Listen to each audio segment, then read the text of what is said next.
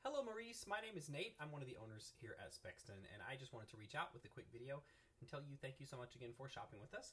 Um, I have finished creating your ring. It is the offset yellow gold black zirconium ring with a customized engraving on the inside, and I'm getting ready to ship this out your way. So before we do that, I wanted to just do a final size and quality control check to make sure that everything looks perfect. So I'm showing that you did the size uh, test kit and that you confirmed size 10 with an 8 millimeter width. I'm going to place your ring onto the mandrel to confirm the sizing that I made is correct, and that is a 10 right on the mark, so that looks perfect. And then also we will measure the width of the ring to confirm that it is 8 millimeters wide as you requested.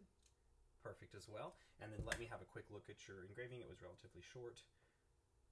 That looks perfect too. So everything is good to go. I'm going to be emailing the tracking information to your email on file shortly. We're going to be sending the ring via FedEx second day. It will be arriving on Friday.